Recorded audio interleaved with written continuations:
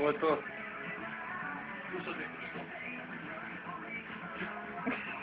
Bude puno. Čekaj, bre. O! I kviko, gdje može? Pa ja sve, brate, ovo.